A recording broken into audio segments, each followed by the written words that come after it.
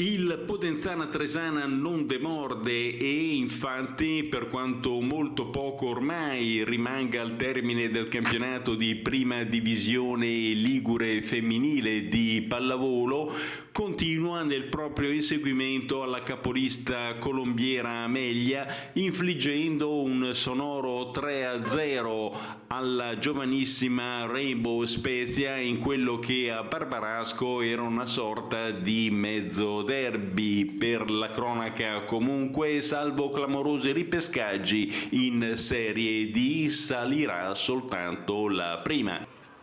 Ora oggi abbiamo giocato bene, le ragazze sono comportate sempre sulla, sull'attenti e niente, stanno continuando bene a giocare e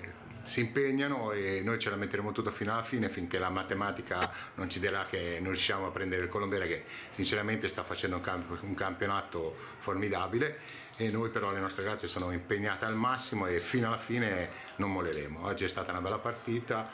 con una squadra giovane di là del Rainbow che ci ha messo in difficoltà, che sono molto brave. Noi speriamo di, almeno fino alla fine ce la dobbiamo mettere tutta per riuscire a ritornare su a vincere il campionato, se ce la facciamo.